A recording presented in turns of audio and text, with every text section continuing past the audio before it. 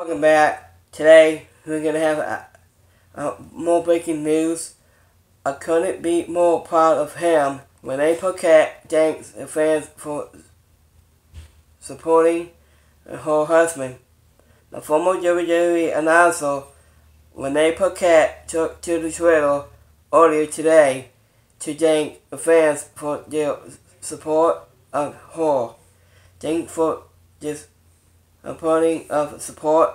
Son is every bit of the we all know him to be. I couldn't be more proud of him for getting to a, a hope he needs a in being given the space to put his health first. I couldn't possibly love this man more. Last night, All Elite Wrestling CEO Tony Khan announced that the former AEW World Champion had a title missing treatment for alcohol addresses since they both offense and regardless of Moxley have folded him and Renee with, with wishes all Uh, over social media. Currently, this means Moxley won't be competing in the world title amateur tournament semifinals.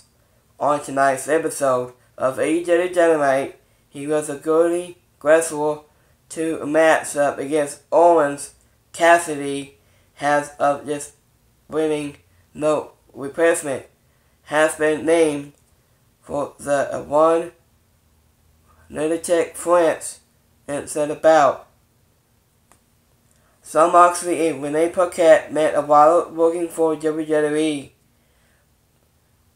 Paquette, who also hosts the Movie Smith's with Renee Paquette podcast and Moxley were married in April of 2017 and had met a while.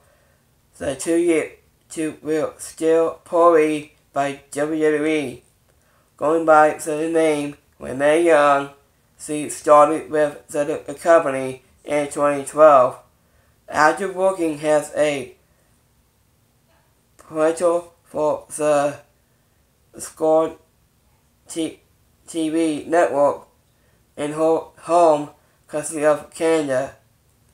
Moxley, who went by the name Dean Ambrose, a father of the company, is left WWE in 2019.